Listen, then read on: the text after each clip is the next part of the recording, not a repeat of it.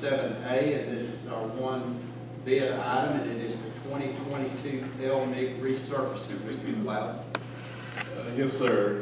Uh, The 2022 resurfacing bids presented include resurfacing 5.89 miles, which includes Jumping Gully Road and Peterson Road.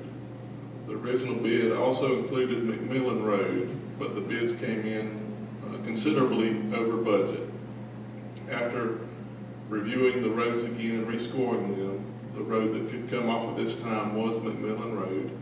So we worked with the low bidder to come up with the new price of one million, six hundred seventy-six thousand, four hundred forty-three dollars and ten. Any questions for Mr. McLeod? Mr. McLeod, I I have not really a question, but just clarification.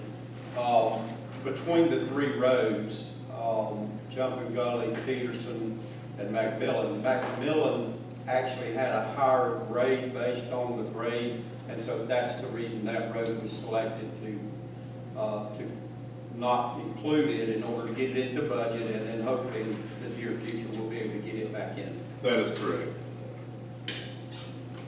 any other questions? Thank you, Mr. McLeod.